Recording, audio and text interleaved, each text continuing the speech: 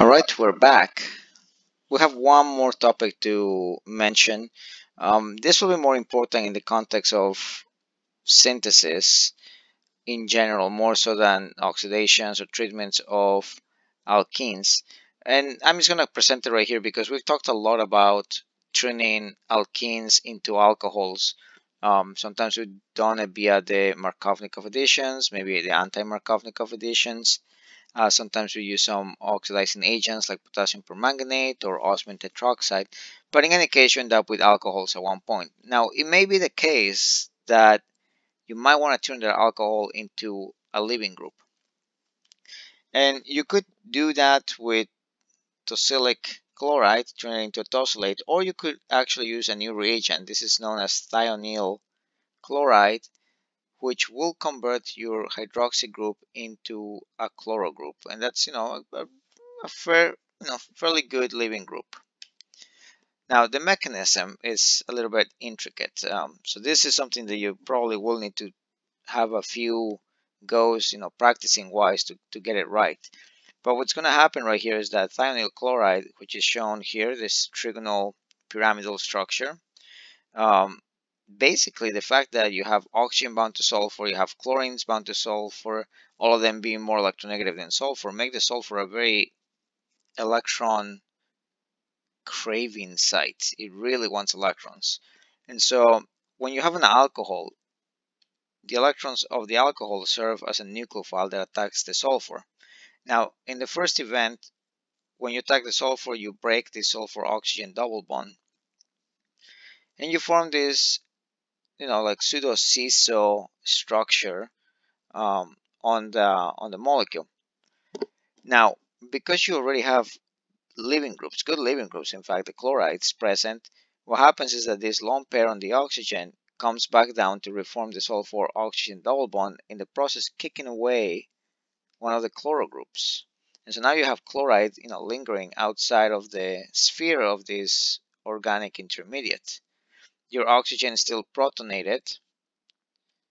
So now what happens is that you don't undergo a deprotonation. And this is the part what can actually trip you up because when you see this, you're probably very inclined to see, oh, there's a proton, let's remove that proton. But that won't actually get you anywhere um, anywhere productive in terms of trying to turn this into a chloride. Now, instead, what happens is that the chloride attacks not the proton but rather the carbon center next door. Because that primary center you know it's actually set up nicely for an SN2 reaction. And at the same time that carbon oxygen bond those set of electrons are migrated towards the oxygen.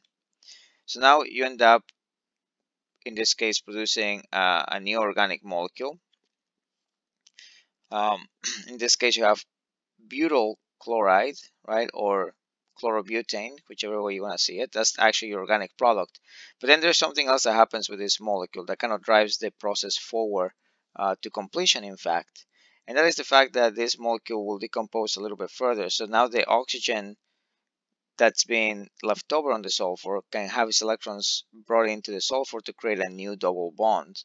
And then that kicks out the second chloride, which serves as a good leaving group uh, and not only that, it serves as a you know okay base to remove the proton that's present on that oxygen. And the moment this happens, you have produced one equivalent of sulfur dioxide gas and potentially hydrogen chloride gas as well.